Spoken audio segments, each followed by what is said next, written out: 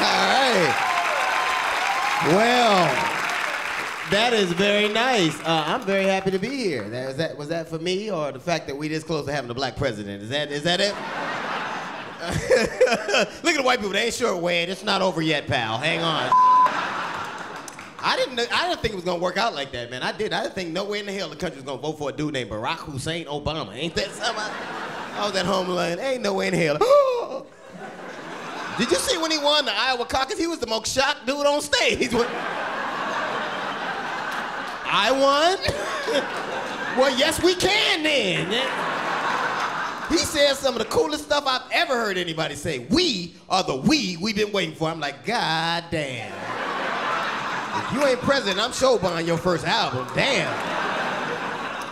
Then we have stuff that's going on. You know, the FBI actually ran out of money and had to suspend his wiretapping program because it couldn't pay his phone bill. Now that's when you need black people for that, because we will could get the phone cut back on in somebody else's name. Use FEMA phone and like, like they answer their goddamn calls. That's fine. Now we got stuff that's going on that is amazing, like the mortgage crisis. Now, who who thought it was a good idea to give them up making 335 an hour a million dollar home loan? Who thought that? You don't have to pay right now.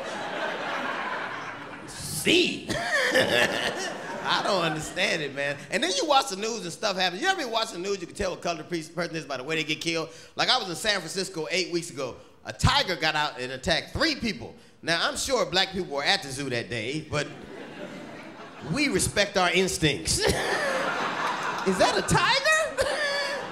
Not white people. A tiger! I'm not lying. Stuff happens to white people. I have never heard. Like 11 months ago, 11 coal miners were trapped in a coal mine in Utah, and we used the most modern equipment known to man, and we were unable to get them out. A month and a half later, 3,500 black gold miners were trapped in a gold mine in Johannesburg, South Africa, and the next day, every one of them brothers got out. Because black folk ain't waiting for help. Damn, y'all. Should we wait for help? This is Africa. They will never come. Dig, Ubuntu, dig. Black people was popping out the ground from everywhere. Oh, thank God. Someone call Angelina Jolie. I need to be adopted. This is. Stuff happens all the time. And then, you know, I don't even know why you'd want to be a, a political person because you under such scrutiny. Like, remember the gay senator from Idaho got caught in the bathroom tapping on the floor for gay sex, which I had no idea was a sign for gay sex? But I'll never go to the bathroom with an iPod again as long as I live. Like, what happens when you tap your foot on the floor? Does the big drop out the ceiling like a like an oxygen mask on a plop?